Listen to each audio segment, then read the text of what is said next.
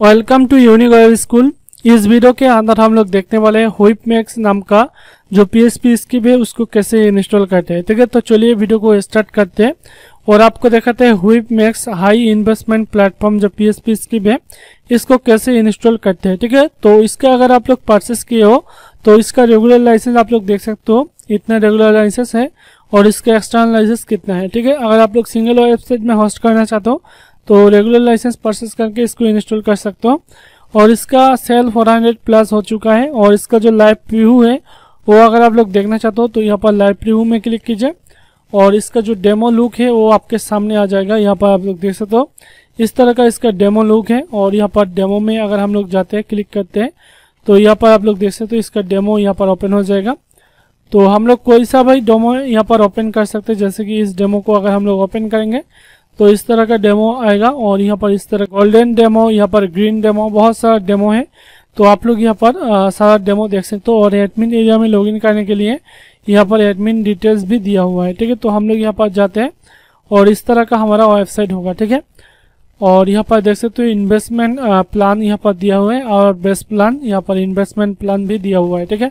तो इसको कैसे इंस्टॉल करते हैं, चलिए देखते हैं। तो इसको इंस्टॉल करने से पहले इसको परचेस करना होगा। परचेस करने के बाद आपको इसको डाउनलोड करना होगा, ठीक है? तो मैं ऑलरेडी इसको डाउनलोड करके रखा हूँ, ठीक है? तो मैं यहाँ पर डाउनलोड करके रखा हूँ। आप लोग यहाँ पर क्लियरली देख सकते हो जिप फॉर्मेट में है।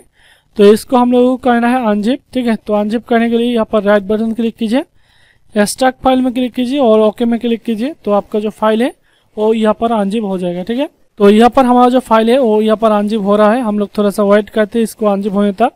उसके बाद हम लोग हमारा जो फ़ाइल है, उसको हम लोग, हमारा जो सर्वर है, उसके अंदर अपलोड करेंगे, ठीक है? तो थोड़ा सा वेट करते हैं। ओके यहाँ पर हमारा जो फ़ाइल है, वो यहाँ पर अनजिप हो चुका है। आप लोग यहाँ पर क्लियर देख सकते हो, इस तरह का फोल्डर ओपन हो चुका है। तो इस फोल्डर के अंदर हम लोग को जाना है और यहाँ पर जाना है। और यहाँ पर डॉक्यूमेंट फ़ाइल मिलेगा। डॉक्यूमेंट फ़ाइल में किसे, इसको सेटअप करते हैं, वो डॉक्यूमेंट दिया हुआ है। और यहाँ पर स्किप नाम का फ़ाइल तो ये जो फ़ाइल है, इसको हम लोग क्या करेंगे? यहाँ पर जिप फॉर्मेट में करेंगे। मैं ऑलरेडी इसको जीप फॉर्मेट में किया हूँ आप लोग यहाँ पर देख सकते हैं हमारा जीप फ़ाइल है। तो अभी हम लोग क्या करेंगे? ये जो फ़ाइल है, इसको हम लोग, हमारा जो सर्वर है, उसके अंदर अपलोड करेंगे, ठीक है?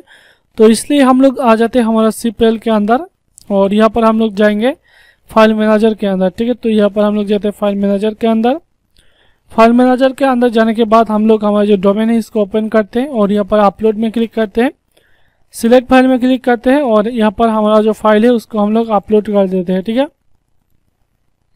ओके मैंने इसको अपलोड कर दिया है और ये जो फ़ाइल है यहाँ पर अपलोड हो रहा है। अपलोड होने के बाद इसका जो नेक्स्ट प्रोसेस है, उसमें हम लोग जाएँगे। तो हम लोग थोड़ा सा वेट करते हैं इसको अपलोड होने तक, ठीक है? उसके बाद आपको नेक्स्ट प्रोसेस दिखाते हैं, ठीक है? यहाँ पर आप लोग देख सकते हो हमारा जो फ़ाइल है वो हंड्रेड परसेंट अपलोड हो चुका है। अभी हम लोग यहाँ पर गो बैक में क्लिक करेंगे। और यहाँ पर हमारा जो फ़ाइल है, वो हम लोग को मिलेगा। ये जिप फॉर्मेट में है, इसको हम लोग करेंगे अनजिप तो अनजिप करने के लिए यहाँ पर राइट बटन क्लिक कीजिए स्टक में क्लिक कीजिए स्टक फ़ाइल में क्लिक कीजिए तो ये फ़ाइल आपको अनजिप हो जाएगा। आप लोग यहाँ पर क्लियरली देख सकते हो, हमारा जो फ़ाइल है, वो यहाँ पर अनजिप हो रहा है। ओके अनजिप कंप्लीट इसको क्लोज करना है, और ये जो इसकी भी, इसके अंदर जाना है। और यहाँ पर जितने भी फ़ाइल है, इसको ऑल में सिलेक्ट करना राइट बटन क्लिक करना मूव में क्लिक करना। और ये जो फ़ाइल है, इसको हम लोग मूव फ़ाइल करके हमारा जो मेन डोमेन है, उसके अंदर लेकर आएँगे, ठीक है? तो हम लोग यहाँ पर जाते हैं। ये हमारा मेन डोमेन के अंदर आ चुका है। अभी हम लोग क्या करेंगे, इसको इंस्टॉल करने के लिए हमारा जो यहाँ पर डोमेन है, इसको ओपन करेंगे, ठीक है? तो हमारा डोमेन को ओपन करने के लिए यहाँ पर यहाँ पर हम लोग, हमारा जो डोमेन है, इसको ओपन करते हैं। और डोमेन को ओपन करने के बाद इस तरह का ऑप्शन आएगा। ये इंस्टॉल करने का ऑप्शन है। तो हम लोग को यहाँ पर एक्सेप्ट एंड नेक्स्ट बटन में क्लिक करना होगा। यहाँ पर एक्सिप और नेक्स्ट यहाँ पर क्लिक करना। और यहाँ पर हमारा जो सर्वर का रिक्वायरमेंट है वो सारा यहाँ पर फिलअप है। अगर कोई भी मिसिंग है तो आप लोग उसको फिक्स कर लीजिए। उसके बाद यहाँ पर नेक्स्ट बटन में क्लिक करना। और यहाँ पर हम लोगों को फोल्डर को परमिशन देना है। जैसे कि यहाँ पर आ, देख सकते हो कोर बूडे कैश को परमिशन देना है। तो हम लोग यहाँ पर जाते हैं।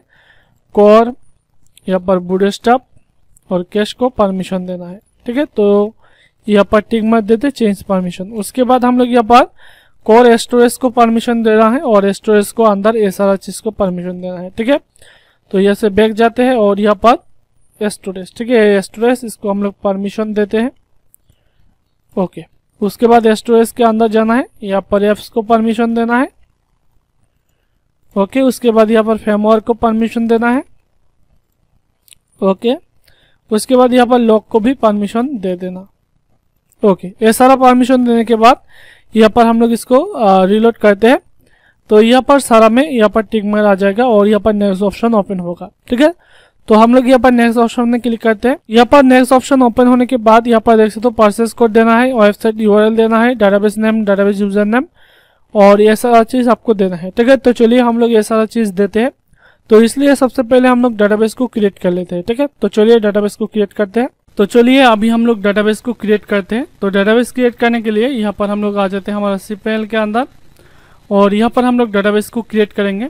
डाटाबेस क्रिएट करने के लिए यहाँ पर थोड़ा सा स्कूल डाउन कीजिए और यहाँ पर आपको डाटाबेस नाम का ऑप्शन मिलेगा। यहाँ पर डाटाबेस ऑप्शन के अंदर माई स्कूल डाटाबेस ठीक है तो यहाँ पर आपको क्लिक करना है। तो मैं यहाँ पर माई स्कूल डाटाबेस के अंदर क्लिक करता हूँ और यहाँ पर हमारा डाटाबेस क्रिएट करने का ऑप्शन आएगा। और यहाँ पर हम लोग क्रिएट न्यू डाटाबेस यहाँ पर हम लोग डाटाबेस का नाम यहाँ पर डालेंगे, ठीक है? तो आप लोग कुछ भी नाम दे सकते हो अपने हिसाब से। तो यहाँ पर मैंने यूनिक वेब स्कूल नाम दे देता हूँ, ठीक है? यूनिक वेब स्कूल इसको कॉपी करके यहाँ पर डाल देता हूँ। तो ये हमारा डाटाबेस का नेम है, इसको हम लोग क्रिएट डाटाबेस में क्लिक करते हैं और हमारा जो डाटाबेस है उसको क्रिएट कर लेते हैं। देख सकते हो हमारा जो डाटाबेस है वो क्रिएट हो चुका है, अभी हम लोग गो बैक में जाएँगे। डाटाबेस क्रिएट करने के बाद हम लोग ये जो डाटाबेस है इसका यूज़र क्रिएट करना होगा। तो इसलिए थोड़ा सा स्क्रॉल डाउन करना। और यहाँ पर आप लोग देख सकते हो एडेड न्यू यूज़र तो यहाँ पर हम लोग यूज़र को क्रिएट करने वाले हैं, ठीक है? तो इसलिए यहाँ पर हम लोग यूज़र नेम यहाँ पर डाल देते हैं। आप लोग कुछ भी नाम दे सकते हो, ठीक है? तो इस तरह का नाम मैं देता हूँ। उसके बाद यहाँ पर पासवर्ड के अंदर आपको पासवर्ड जनरेट करना होगा। तो इसलिए यहाँ पर मैं जनरेट पासवर्ड में क्लिक करता हूँ। और ये जो पासवर्ड है, इसको हम लोग चेंज भी कर सकते हैं। और ये जो पासवर्ड है, इसको हम लोग कॉपी कर लेते हैं। कॉपी करने के बाद हम लोग इसको, हमारा जो नोट पैड है, इसके अंदर इसको सेव कर लेते हैं, ठीक है? तो इसको हम लोग हमारा नोट पैड के अंदर सेव कर लिया है और यहाँ पर टिक मार देना है। I have copy this password, okay? उसके बाद यहाँ पर यूज़ पासवर्ड में क्लिक करना और यहाँ पर क्रिएट यूज़र में क्लिक करना। तो ये जो यूज़र है डाटाबेस के यूज़र है, वो क्रिएट हो जाएगा, ठीक है? तो अभी हम लोग क्या करेंगे, हमारा जो डाटाबेस है, वो भी हम लोग क्रिएट कर लिया डाटाबेस यूज़र भी क्रिएट कर लिया। अभी हम लोग करेंगे डाटाबेस और डाटाबेस यूज़र को कनेक्ट ठीक है? दोनों को एक साथ कनेक्ट कर लेना है। तो कनेक्ट करने के लिए थोड़ा सा स्क्रॉल डाउन कीजिए।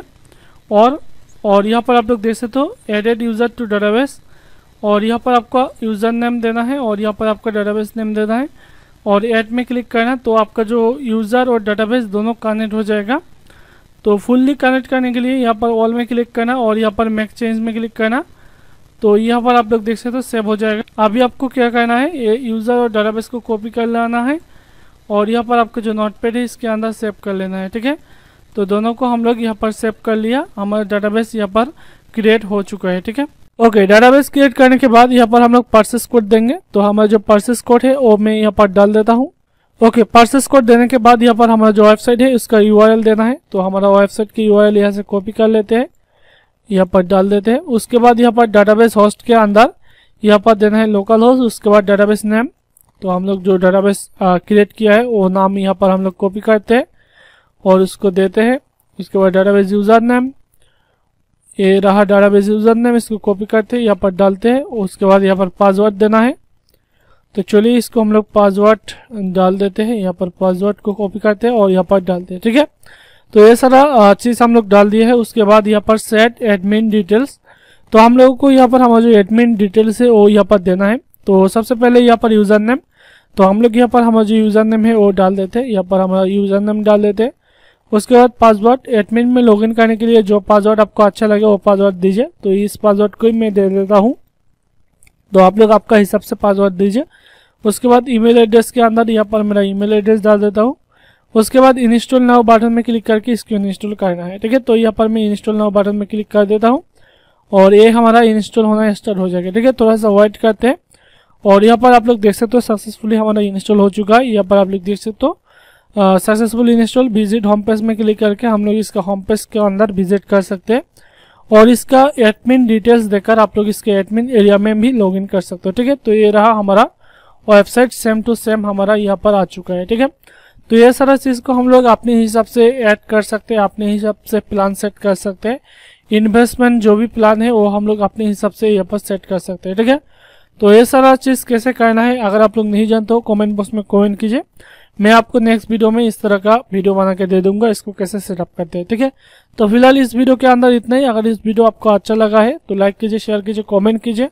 और हमारा जो unique web school YouTube channel है, इसको सब्सक्राइब करके हमारे साथ बने रहिए। थैंक्स